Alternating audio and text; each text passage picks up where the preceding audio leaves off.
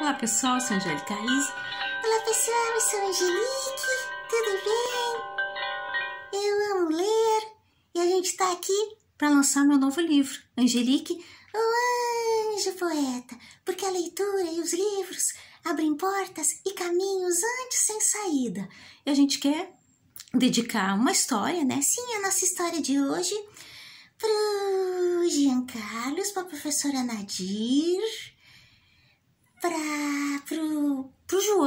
afilhadinho, isso mesmo, e para todas as crianças do mundo. Tchurururu, tchurururu, tchurururu. Quando eu leio um livro, quando eu leio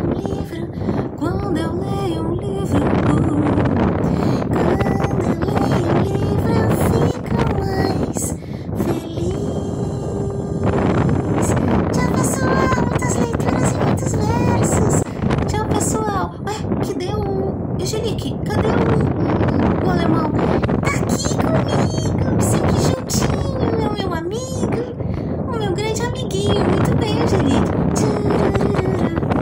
Tchurururu, tchurururu. Muitas leituras e muitos versos, pessoal. Beijo, beijo, pessoal. Muitas leituras e muitos versos.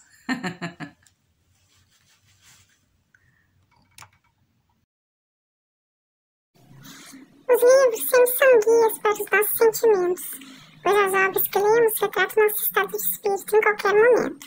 Angelique, hum,